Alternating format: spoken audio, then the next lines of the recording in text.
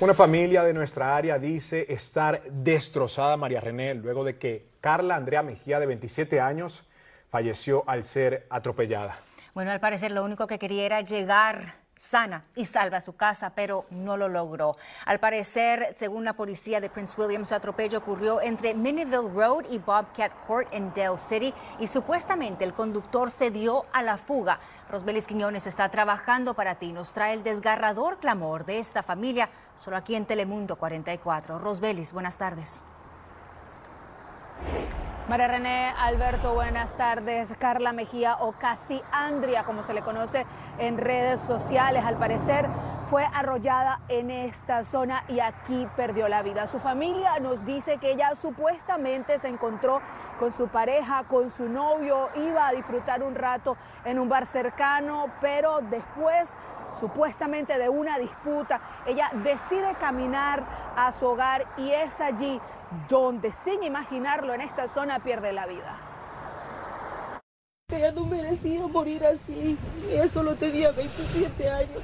Silvia Mejía nos dice que siente estar en una pesadilla de la que quiere despertar.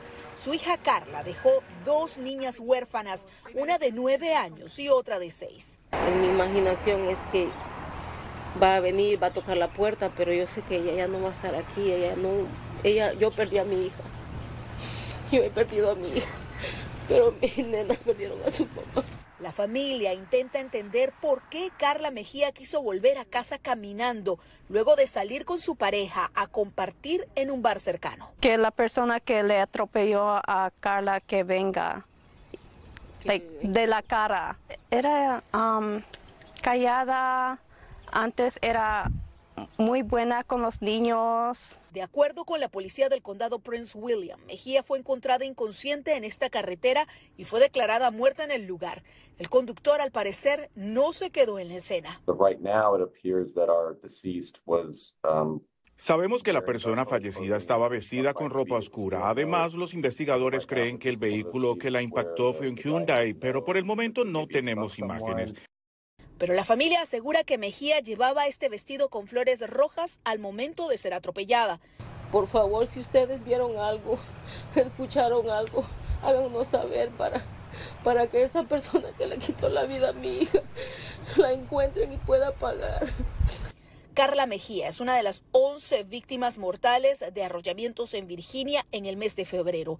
La Policía Estatal hoy emitió una alerta por el incremento de muertes de peatones, una tendencia que califican de alarmante. Uh, pero la realidad es que las personas que están caminando y que están conduciendo tienen que tener más cuidado. Al menos 19 peatones fallecieron en Virginia en los dos primeros meses del 2024. En todo el año pasado murieron 118 peatones en la entidad y obedezca las señales publicadas y, y evita de estar uh, distraído con alcohol o drogas. Medidas que pueden salvar vidas. Porque no solo me está dejando a mí sufrir, es una familia que está sufriendo. Esta noche familiares, amigos y miembros de la comunidad tienen prevista realizar una vigilia justamente en esta carretera, en esta zona, no solo para rendir homenaje a Carla Mejía, también para pedirle a los miembros de la comunidad que aporten cualquier información que pueda ayudar a resolver este caso y además a solicitar conciencia sobre el riesgo en las carreteras. Es el reporte en vivo. Vuelvo con ustedes.